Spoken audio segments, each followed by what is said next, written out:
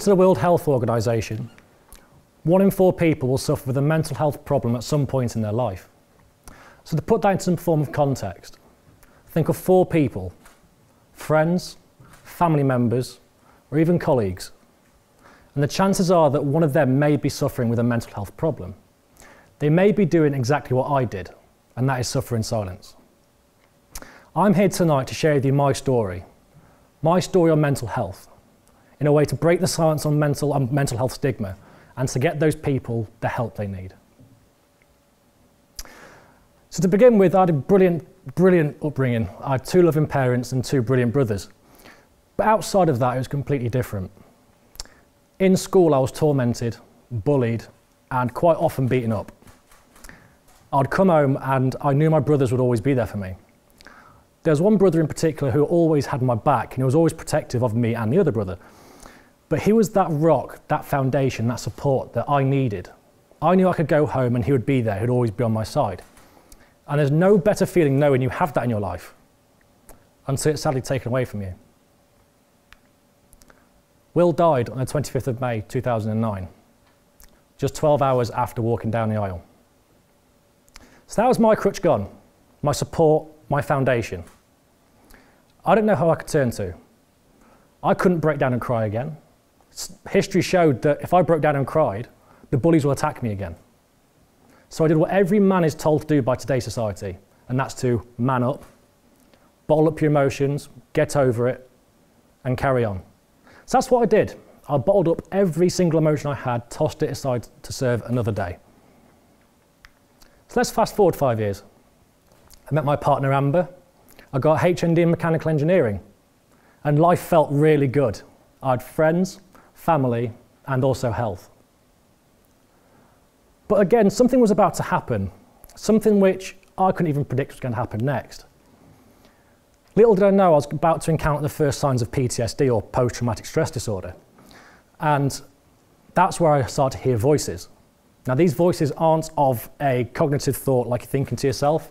These are of, as if you're walking up the high street, everyone decided to turn towards you and shout abuse at you. You're fat, you're ugly, she's better without you. So at first, I didn't know what was going on, so I couldn't tell anyone. I didn't have the support again. He was gone. So I did exactly what I did before and bottled everything up. Tossed it aside to deal with another day. Unfortunately, things started getting worse, and people around me, especially my partner, could see something that I couldn't. I was unwell. These voices got more intense. So much, so much so, they actually took control. Punch that wall, kick that, break the door, smash the window. And I could do nothing but watch while this thing had control. Then it elevated even more.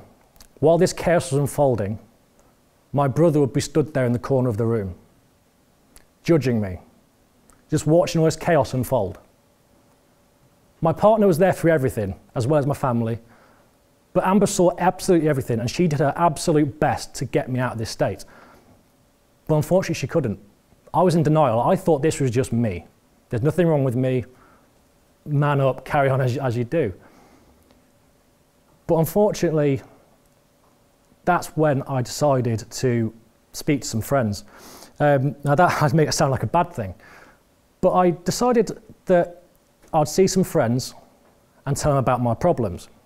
That kind of came about when Amber, unfortunately, was at her wits' end and she couldn't take anymore. I put her through a lot and she said, I'm going. Her bags were packed. Again, that was another crutch or foundation that was going. So I got onto both my knees and begged, please stay. She said, I will, I'll stay. You need to see a doctor. Next day, I saw a doctor. Within minutes, I was signed off as unfit for work. Now, going back to my friends, I opened up to them because I spoke to the GP, and that opened up so many avenues. I saw psychiatrists, I saw therapists, I got medication, and things started to get a bit better. Got a bit of self respect again, opened up to their said friends. And on face value, they seemed really happy that I opened up. They could also see I wasn't well. I told them about the scars I've got on my hands from punching things and smashing things. And I felt good. This unfortunately came to the end when I had a psychotic episode at who I thought was my best friend's birthday party. Again, within days, social media accounts were made in my name. I had a bombardment of cyberbullying, and people were pretending to be me and saying vile things to other people. That made my fingertip grip on my own reality and my own safety go to its very, very end. Even when you think it can't get worse, it does. I received a text. Don't come back. We know you're faking it. With that, I stood up calmly. Amber sat beside me, walked out to the garage, and went to hang myself.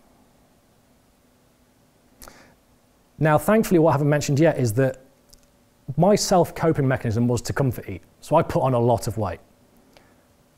I was at 23 and a half stone, and the, the, simply the roof joist broke. I fell to the floor. Pure luck. I was given an extra life. Amber walked in and found me, checked me for injury, took the ligature off my neck, went to hospital. Checked by therapists up there, given medication, and then sent home. Unfortunately, I was still in psychosis, and that night I took an overdose. That's two trips to A&E in one night. Not only did I feel the lowest of the low and I didn't have any hope, I finally felt like I'd lost the war and the fight against the war against myself. Now, it's a statistic by Rethink, the mental health charity, that in 2017, 6,000 suicides happened, occurred. That's roughly one person every two hours. And that's a statistic I never thought I'd ever, at any point, nearly be a part of. Now, from this, the turning point, as it were, Amber went to carer sessions with the same charity, Rethink, where, where people could meet up, discuss their problems, and basically have a respite. And they've organised a night where they could get the people they're caring for together. Now, again, I thought I was a danger, not only to myself, but to others. I didn't want to go because what if it made me feel worse? What if it reaffirmed to myself that I had no hope? So I decided to go. Not for me, but again, for my, for my relationship and for my partner.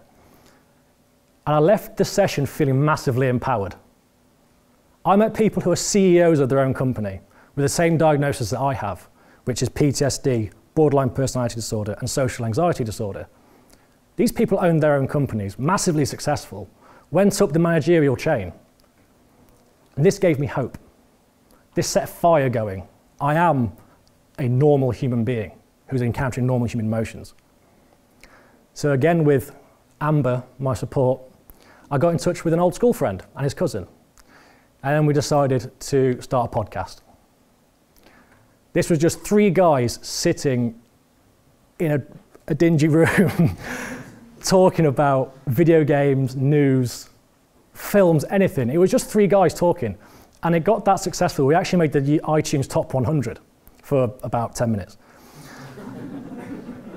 But people started to give us messages, and people loved what we were doing. And for me, it felt incredible because I was just being me. This is my soul being poured out online. People could see me for who I was. And then I wanted a new challenge. I decided to take up running. Now, at my heaviest weight, I thought, right, I'm going to lose weight, get better, lace up my trainers, headphones in, and go for a run. That run nearly killed me, but in a good way. This ignited a fire, and I wanted a challenge. I'm going to go for this. So, in eight months, I'd lost seven and a half stone, all the way through running. And because of this image alone, and the way I see myself now, is I can not only see that I've lost the weight and I look better in general, I, my personal opinion, um, but the fact that Going back to an image previously, I don't look unwell. I look happy. I don't even recognize that guy previous. I don't even believe that was me. But it gives me a simple mantra for life. If you survive one day, just one day, with a mental health problem, you're no longer a sufferer, but you're a survivor. And that's where I need your help. See, that figure I told you at the start one in four people. We all know that, it's said, said quite re regularly. For every one in four people suffering with a mental health problem, there's always three more who can help save a life. So if I can get you tonight to leave this room or go wherever you, where you go, and you speak to a friend who doesn't seem quite right or on edge or not seeming themselves, if I can get you to ask them, Are you okay? at least my work here is done. When you walk out this room, I just want you to remember every one in four people, three others can save a life. My name's Tom, and I just want to know are you okay? Thank you.